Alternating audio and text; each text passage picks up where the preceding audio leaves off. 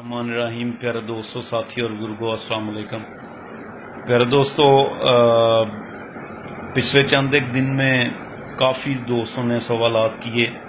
کچھ کو میں نے ان باکس میں جوابات دے دیے، کچھ کو میں جوابات نہیں دے پایا۔ تو ان میں سے کچھ ایسے سوالات تھے جو کہ بڑے تفصیل طلب تھے، وہ ہم نہیں اس میں دے سکے۔ اس میں جو ایک پہلا کوشچن تھا میری نظر میں یہ بہت امپورٹنٹ کوشچن ہے اور، اس کا جواب جو ہے میں آپ کو اپنے تجربے اور ان تجربات کی روشنی میں دوں گا جو محترم اساتذہ کرام سے لیے ہیں۔ کوشچن یہ تھا کہ کمگر کبوتر جب ان بریڈ ہو جاتا ہے تو اس کی نشانی کیا ہے؟ جب ان بریڈ ہو جاتا ہے تو اس کی نشانی کیا ہے؟ تو پیارے دوستو، یہ بہت امپورٹنٹ کوشچن ہے۔ اس میں سب سے پہلے تو ہمیں سمجھنا پڑے گا کہ ان بریڈ کیا ہے۔ یہ میں آپ کو ایک لائن میں ان بریڈنگ کا بتاؤں گا کہ ایک لائن میں آپ کو سمجھ آسانی سے لگ سکے۔ ان شاء اللہ تعالیٰ اس پر جو ہے وہ مکمل سیشن رکھیں گے۔ ان بریڈنگ خود ایک وسیع ٹاپک ہے اور اس پر جتنی جتنی دیر چاہے بات کی جا سکتی ہے۔ اس کے میرٹس ہیں ڈی میرٹس ہیں۔ بہرحال ان بریڈنگ آپ اگر ایک لائن میں سمجھنا چاہیں تو ایک ہی خاندان کے افراد کی آپس میں شادیاں کہہ لیں یا آپس میں میل کہہ لیں کراس کہہ لیں۔ تو جس طرح ہم اپنے مطلب اگر انسانوں کو دیکھتے ہیں تو کزن میرج یا پھر چچا کی بیٹی کے ساتھ شادی حالہ کی بیٹی، پھوپھو کی بیٹی، اس طرح ایک ہی خاندان کے. اچھا کبوتروں میں یہ چچا کی بیٹی، تایا کی بیٹی، یہ تو ایک حد تک چل جاتے ہیں. لیکن کبوتروں میں جب بہن بھائی کو آپس میں لگایا جاتا ہے، ماں بیٹے کو اور باپ اور بیٹی کو لگایا جاتا ہے، تو ایسی ان بریڈنگ ہوتی ہے کہ اس سے تباہیاں آتی ہیں۔ ٹھیک ہے؟ تباہیاں کس قسم کی آتی ہیں؟ ان شاء اللہ تعالیٰ یہ اس پر میں مطلب تفصیلاً ان شاء اللہ تعالیٰ گفتگو کروں گا۔ تو ممکن ہے کہ اگلا جو ٹاپک ہے ان بریڈنگ کا، وہ مطلب اگلا جو ٹاپک ہے وہ ان بریڈنگ کا ہی ہو۔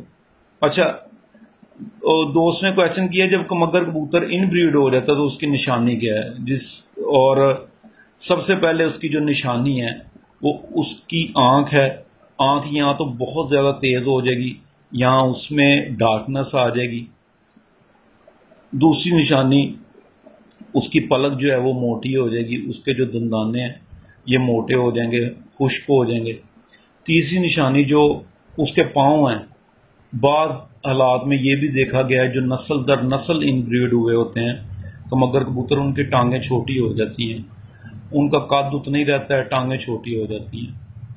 یہ میں آپ کو بالکل لائن وائز مطلب مختصر مختصر کر کے بتا رہا ہوں ہیڈنگز بتا رہا ہوں آپ کو۔ اچھا۔ اگر آپ پروں کو کھولیں گے ان بریڈ ہوئے جو کمگر کبوتر ہیں ان کا ان کے پر بہت نوکیلے باریک اور ان کی جو اندر والی تیلی ہے وہ خشک مطلب چمکدار نہیں ہوگی اور مطلب ہارڈ ہوگی وہ، اس میں ملائمیت نہیں ہوگی۔ اور بعض حالات میں یہ بھی ہوتا ہے کہ دسواں پر باہر نکل جاتا ہے، نویں سے بھی باہر نکل جاتا ہے۔ اچھا جب یہ نواں پر باہر نکل جاتا ہے، ان بریڈنگ ہو جاتا ہے، تو یہ نہیں ہے کہ بالکل ردی ہو گیا کبوتر، اس کا بھی بڑا مطلب اس کا بھی سلوشن ہے کہ اس کو آپ کس طرح یوز کر سکتے ہیں۔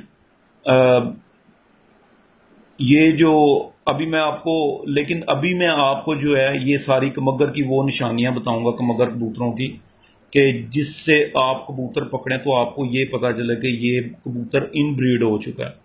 اچھا سب سے پہلے میں نے آپ کو بتایا کہ آنکھ ڈارک ریڈ ہو جائے گی یا پھر اس میں ڈارکنس آ جائے گی، اندھیرا پن آ جائے گا۔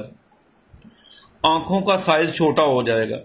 مطلب جسے پنجابی میں چنی آنکھوں والے کہتے ہیں۔ آنکھوں کا سائز چھوٹا ہو جائے گا اور جو پلک ہے، پلک کے دندانے موٹے ہو جائیں گے، ٹھیک ہے؟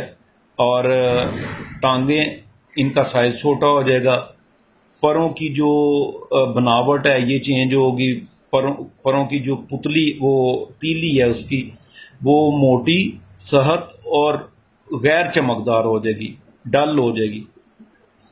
اچھا اس کے بعد کمگر کبوتروں کا جو جیسے یہ ان بریڈ ہونا شروع ہوتے ہیں، ان میں جسمانی ساخت کے طور پر یہ پلپلے بھی ہو جاتے ہیں۔ ان کی جو دم کی گرا ہے، یہ موٹی ہو جاتی ہے، دم لمبی ہو جاتی ہے اور ان کے جوڑ کھل جاتے ہیں۔ ٹھیک ہے؟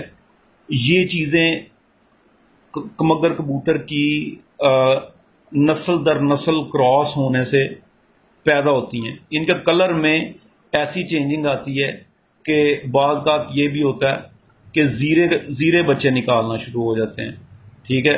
اس کے بعد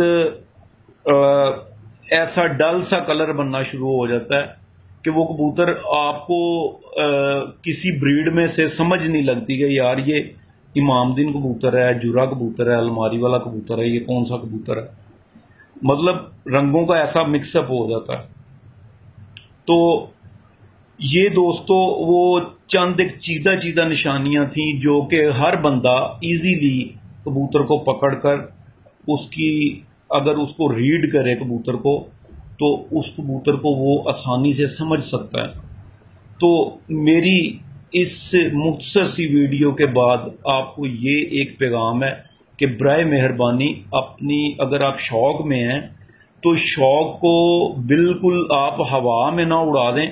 آپ اس کو ایک ذمہ داری سمجھیں، آپ کم از کم نسلوں کو جو جو کلرز ہیں، آپ اتنی سمجھداری سے پیئر لگائیں کہ آپ کے پاس اگر کوئی نسل چل رہی ہے تو وہ اس میں آپ دوسروں تک وہ کبوتر پہنچانے میں کامیاب رہیں، اچھے کبوتر پہنچانے میں کامیاب رہیں، نہ کہ آپ کے گھر سے کوئی بندہ لے کر جائے۔ تو اس کے ساتھ اس کو بہت زیادہ محنت کرنی پڑے۔ اچھا یہ نہیں ہوتا۔ میں آپ کو بتاؤں کہ اچھا کبوتر جو ہے، اچھے کبوتر کی یہ ہے پہچان۔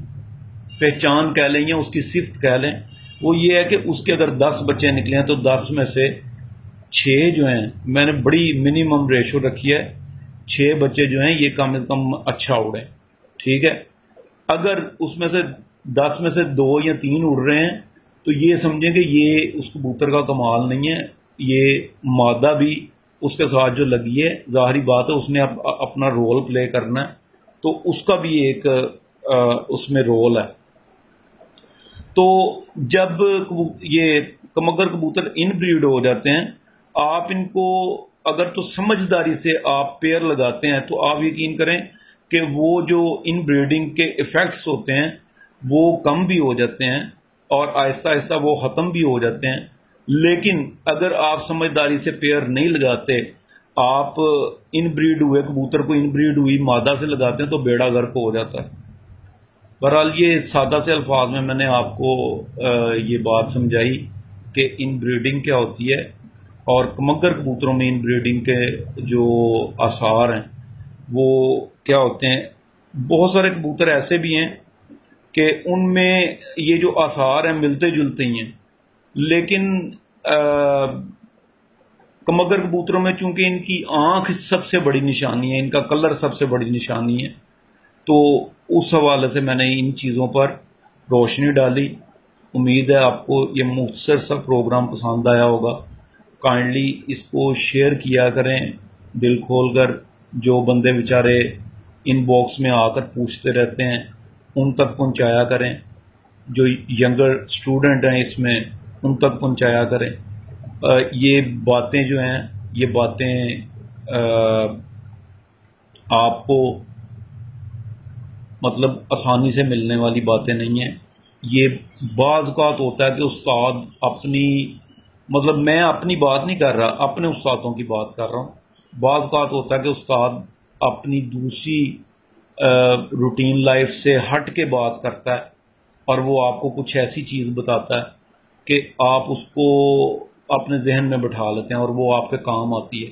یہ وہ بات ہے جو ہم نے اپنے اساتذہ سے سنی، خود آزمائی، اب آپ تک پہنچا دی ہے۔ اب آپ کی ذمہ داری ہے کہ اگر آپ خود نہیں بتا بتا سکتے تو اس کو شیئر کریں۔ پہلے دوستوں بہت شکریہ۔ امید ہے آپ کو پسند آیا ہوگا۔ اللہ حافظ۔